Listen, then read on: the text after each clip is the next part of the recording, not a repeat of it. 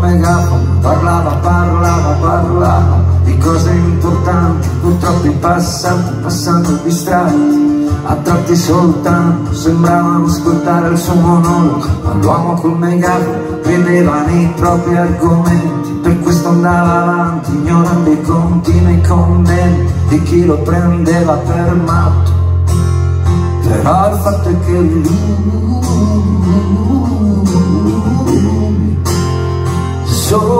soffriva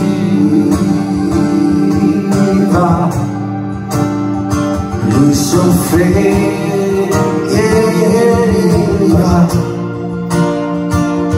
davvero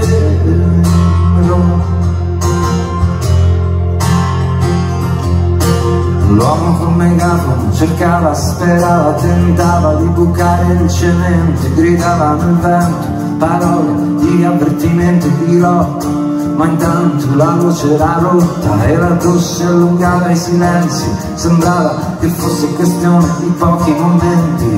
Ma invece di nuovo la voce tornava la voce tornava